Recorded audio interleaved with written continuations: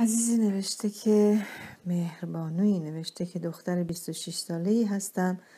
از یه خانواده تقریبا سنتی. پدرم پسر بزرگ خانوادهش بود و با پدر بزرگم زندگی می‌کردیم. اما هم همه ازدواج کرده بودن و یکی یکی رفتن اما دو تا امه دوقلو داشتم که از هفت سالگی مادرشون از دست دادن. مادرم بزرگشون کرد. من و امه هم با هم بزرگ شدیم. از بچگی شاهد گریه ها و بیقراری هاشون برای مادرشون بودم. واسه اینکه از دیدن نوازش ها و رابطه من و مادرم حس بیماری بهشون نده هیچ وقت به مادرم نزدیک نشدم. اونم همینطور. شاید بگم بیشتر مادر بیشتر مادر اونا بود تا من. وقتایی بود که از درد به خودم میپیچیدم اما پیش مادرم نمی‌رفتم. مبادا امم یاد مادرش بیفته. حالا اونا ازدواج کردن و رفتن اما من به اندازه همه عمرم از مادرم دورم. نتونستم یاد نگرفتم با هم باشیم. همو بفهمیم. خواهرامو می‌بینم چقدر راحت باهاش درد دل می‌کنن ولی اما من نمی‌تونم. ما حتی نوازش همدیگرم بلد نیستیم. حالا بعد از سالها که اونا رفتن من هنوز مادرمو ندارم. همه عمر سعی کردم دختر خوبی باشم. اما همه احساساتم همه شاد بودنم لحظه به لحظه مرد. همه عمرم شاهد رابطه سرد و پر از دعوای پدر مادرم بودم. پدرم با رفتارش با مادرم بسیار بد بود. من به همه مردها بیاعتماد شدم. پدرم مردی سفت و سخت کاملا سنتی که زن رو با کفش مقایسه می‌کرد. همیشه از عشق فرار کردم.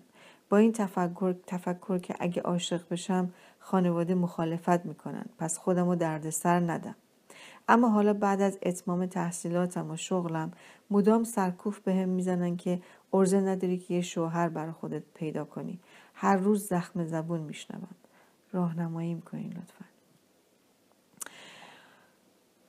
خیلی خیلی متاسفم که از تمام دخترای اون خانواده از امه ها و خواهرات گرفته تا مادر همه تونستن عشق مادری و آغوش گرم مادر تو رو حس کنن. ولی تو عزیز گلم نتونستی. شاید بچه بزرگتر بودی. ای کاش نوشته بودی که بچه چندم خانواده بودی. ولی به هر حال فرق نمی‌کنه. کودکی آسیب خورده که یاد گرفت بسیارگر و قربانی باشه. این از کودکی متاسفانه آموختی. حالا چه دختر اول بودی چه وسط چه آخر. ولی این نقش متاسفانه اثبات شد برات. یعنی این نقش رو برای خودت گرفتی وقتی که خواهرای دوقلو امه های دوقلو هفت سالت وارد زندگی شما شدن و به نوعی مادر مجبور شد برای اونا مادر بشه.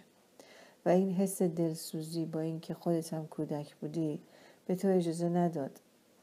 که اون خود دوستی خودت رو داشته باشی و از حق خودت که عشق و علاقه و آغوش گرم مادر و نوازش مادر هست خودت نه تو تونستی اینو به خودت برسونی و یا فولفیل کنی خودت رو و نه مادر وقت و یا حواسش بود که حواسش به تو باشه. الان که 26 ساله شده و خوشبختانه تحصیلاتت رو تموم کردی و خوشبختانه تر سر کار داری میری و مستقل هستی این زخم زبونا برای دختر 26 ساله حالا آره نوشتی 26 سال 36 سال نمی‌خونم. 26 سال هنوز خیلی زود عزیزم برای شوهر پیدا کردن. یه مقدار خودت خودتو آروم کن از زخم زبونای آدم های نادون اطرافت رنج نکش. تو به خاطر الگوی غلط پدر که همونطور که نوشته بودی خشونت داشت و رابطش با مادر و شاید رابطش با شما هم خوب نبود یه حس ناامنی از مرد گرفتی. چون الگوی مرد در زندگیت الگویی نبود که به تو آرامش و امنیت بده. نوشتی که تو نمی‌تونی تو مادر به انگلیسی میگن bonding. یعنی بین شما bonding به وجود نیومده بین شما وصل به وجود نیومده. اما اصلا نگران نشو. اگر مادر بلده تونسته و نوشتی خواهرا از این چقدر راحت می‌تونن می‌تونن برن با مامان درد دل کنن در آغوشش باشن نوازشش رو بگیرن پس مادر خوشبختانه این این حسن رو و این لطف و مهربانی رو داره که به خواهرها و به امه ها داده این یه شانس بزرگی که تو داری و همتون دارین. پس مادر مهربونی هست. ولی از تو غافل شده. یکی از دلایلی که از تو غافل شده شاید به خاطر اینکه از همون کودکی تو از این حق و از خودت گرفتی و, و مادر متوجه نشد با مسئولیت سنگینی که روی سرش بود. و شوهری نامهربون. فکر کرد که تو احتیاج نداری. البته نباید اینطور فکر می‌کرد ولی خب شرایط سختی بود براش. و تو با نرفتن و تقاضا نکردن آغوش مادر مادر قافل شد از تو. اما یه خبر خوب برای تو و امثال تو اینه که هرگز دیر نیست. هرگز دیر نیست عزیزم. من بهش میگم رابطه جدید درون رابطه. الان تو به عنوان یه خانوم مهربانوی با وقار زخمی کمبود توجه و عشق الان باید کوشش بکنی چون دیگه کودک نیستی. حالا به عنوان یه بالغ باید کوشش بکنی این رابطه رو تو با مادر شروع کنی. اولش سخته برات. اولش احساس غریبگی ممکنه بکنی. اولش ممکنه احساس سردی بکنی. اولش امکان داره که احساس کنی که هیچ احساسی نداری به مادر. این برمیگرده به اون خشم کودکی به اون پس های کودکی چه از طرف خودت چه از طرف مادر. ولی نزار این کودک درون زخمید جلوی بالغ سالم تو بگیره. تمرین کن با مادر صحبت کن. بگو صدای منو برای مادر بذار. کاری که شما دوتا باید بکنین اینه که شروع کنین تمرین کردن. یعنی شروع کنی اول با صحبت کردن. با مامان شروع کن درد دل کن صحبت کن. سخت برات ولی اگر واقعا می‌خوای سالم بشی اگه واقعا می‌خوای یه همسر و یه مادر مهربون عاقل و بالغ باشی که بتونی خوشبخت بشی و خوشبخت بکنی باید این حرکت رو با مادر انجام بدی که از, این طریق تو پر بشی. این کمبود از بین بره. وگرنه اگر ازدواج بکنی ممکنه این کمبود از شوهرت بخوای.